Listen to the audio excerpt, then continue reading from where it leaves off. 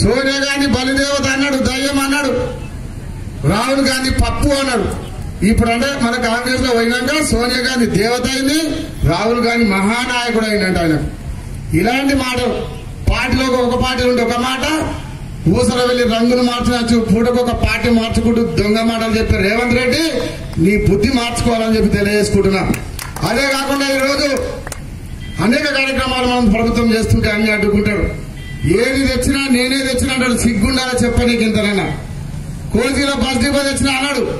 GO లేదు sanction లేదు. కొట్టి పోలీసులు వేసిండు ఆ సత్యనారాయణ ఆర్టీసీ చైర్మన్కు ఐదు లక్షలు ఇచ్చి ఇంటికాడ పోయి ఐదు లక్షలు ఇచ్చి తోలుకొచ్చి పోలీసులు వేసి డిపో వచ్చిందని నమ్మిచ్చేసిండు.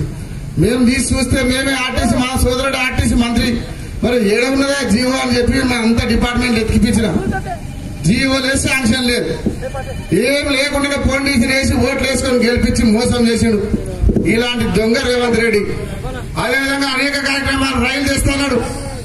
మీరు చూసినారుగా హైదరాబాద్కి వెళ్ళి రైలు చేస్తా బొమ్మరాజ్పేటకి వెళ్ళి కొడంగల్ కోజికి వెళ్ళి నారాయణపేట కృష్ణ పోతుందని అనుకున్నారు. మీరందరూ అనుకున్నారు హైదరాబాద్ రైలు ఎక్కితే బొమ్మరాజ్పేటలో దిగుతామని అనుకున్నారు అందరూ.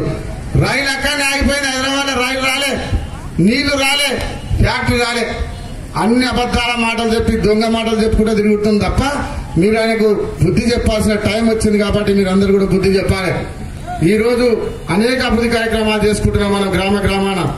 పెద్ద ఎత్తున గ్రామాలు అభివృద్ధి చేసుకుంటే ఈ కార్యక్రమాలను అడ్డుకుంటాడు అదేవిధంగా ఈ రోజు మనం పెద్ద ఎత్తున తాండూరులో చెల్లని రూపాయి అంట కొడంగల్కి వచ్చినంట ఆయన మాట్లాడుతున్నాడు. నువ్వు కొండరెడ్డిపల్లె కానీ నీ కల్వగుట్టుల చెల్లగనే ఇక్కడ వచ్చినవరా సన్యాసి నువ్వు నీ గ్రామంలో అన్ననో మీ తమ్ముడు సర్పంచ్ వార్డు మెంబర్ గెలిచినారా అని అడుగుతున్నా. ఒక వార్డు మెంబర్ గెలవలే సర్పంచ్ గెలవలే. ఆడ గెలవక ఈడొచ్చి గెలిచి పెద్ద పెద్ద మాటలు మాట్లాడుతున్నావు. మేము అన్ని పార్టీ అన్ని పదవులు అనుభవించి వచ్చిన. ప్రజలతో వచ్చిన పదవులు. ఎంపీపీ అయినా సింగిల్ విండో చైర్మన్ అయినా ఎమ్మెల్సీ అయినా రెండు సార్లు. మా మహేంద్ర మంత్రి ఐదు సార్లు ఎమ్మెల్యే నాలుగు సార్లు ఎమ్మెల్యేలు మంత్రి. ఇన్ని పదవులు? ఒకటే కుటుంబంలో నాలుగు పదవులు గత ప్రభుత్వంలో తెలుగుదేశం ప్రభుత్వంలో. మళ్ళీ టీఆర్ఎస్ ప్రభుత్వంలో కూడా నాలుగు పదవులు. ఇన్ని పదవులు ప్రజలు ఒట్టి ఇయ్యారు ప్రజల మధ్యలో ఉంటే ప్రజలకు పనిచేసి ప్రజలకు సేవ చేస్తే ఇస్తారు తప్ప నీలాగా దొంగ బుద్ధులు చేసి దొంగతనంగా జిమ్మిక్కులు చేసి గెలవలేదు సన్యాసాన్ని తెలియజేసుకుంటున్నారు.